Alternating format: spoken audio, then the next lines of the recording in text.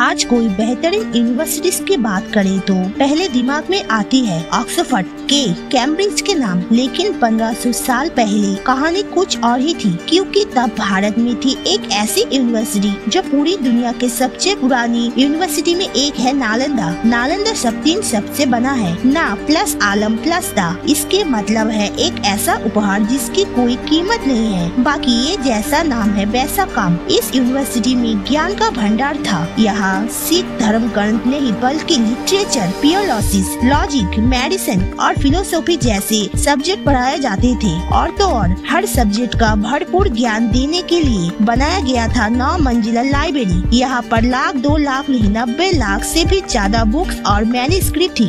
ये यूनिवर्सिटी 700 साल तक दुनिया को सीख देती रही, लेकिन नालंदा ने कई बार हमले के बाढ़ को भी झेला। आखिर तक बारहवीं शताब्दी में एक हमले में व्यक्ति या खलजी ने नालंदा विश्वविद्यालय को जला दिया और माना जाता है, इसकी लाइब्रेरी तीन महीने तक जलती रही और वो ज्ञान का खजाना जो संभाल कर रखा गया था, वो धुएँ में मिल गया। नालंदा एक विशाल मठ का हिस्सा थी, जिसके खंडर आज भी 57 एकड़ में फैला हुआ है और ये हमें नज़र आती है। कुछ रिकॉर्ड के मुताबिक नालंदा को दरअसल आम के बगीचों में बनाया गया था, जिसे 500 व्यापारियों ने गौतम बुद्ध को तोहफे में दिया था। पर आर्कियोलॉजिस्ट के हिसाब से नालंदा को 50 सेंचुरी बीसी में गुप्त काल में बनाया गया था। अलग अलग दौर में यह कई टीचर ने पढ़ाया था, जैसे नाग अर्चना, बुद्ध पालिता सांद और देव। और जानते हैं स्टूडेंट्स कौन थी? चाइनीज़ ट्रेवलर ह्यूवन सांग जैसे कई प्रसिद्ध लोग थे, जो दुनिया भर में से खींचे चले आते थे। लेकिन ये सभी के बावजूद नालंदा विश्वविद्यालय ने इस मार्ग को नहीं झेल पाया।